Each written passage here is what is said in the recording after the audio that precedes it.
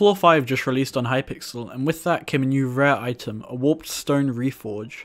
And with this item, you can add it to an aspect of the end and make it insanely powerful. And today, that's what we're going to be doing and seeing how much damage we can deal. As you can see here, I have some cool swords that we're going to be testing today, including the warped aspect of the end.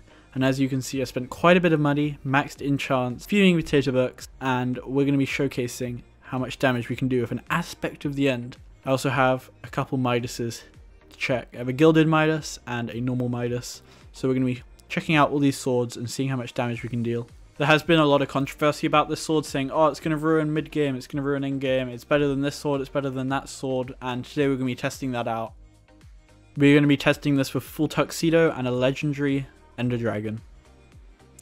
So, let's use an AOTD first. This is the normal weapon that you would use with an Ender Dragon.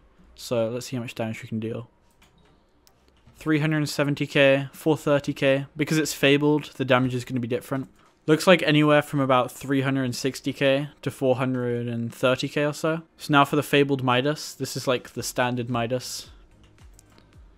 370k. 370k. 402k. It looks a bit lower than the AOTD, but not by much. And now the Gilded Midas. This thing has 390 damage, which is insane. So we're going to see how much damage we deal with it. 412k. 414k. So it's it's gonna because it's gilded and not fabled. It's always gonna be the same damage. So it looks better than the fabled Midas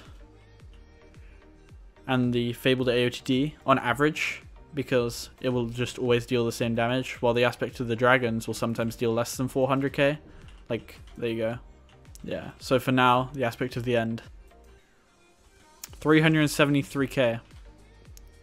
Pretty insane.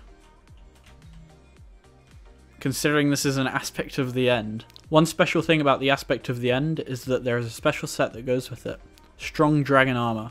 The full set bonus gives the aspect of the end 75 damage. Let's see how much this affects the aspect of the end in comparison to other swords. So we're now wearing Strong Dragon Armor. Let's see. Aspect of the end.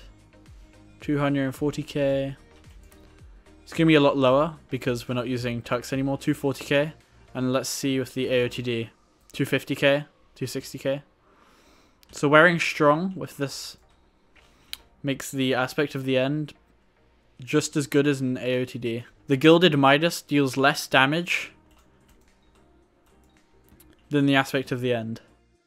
And finally, if you're watching this video, I assume you've watched this video by Palikka, dealing 17k damage with an aspect of the end and right now we're just gonna just gonna flex a little bit. So we are wearing Tux, and if we take this sword here, which is an End Sword, this deals plus 100% damage to Ender Dragons, Endermen, and Endermites.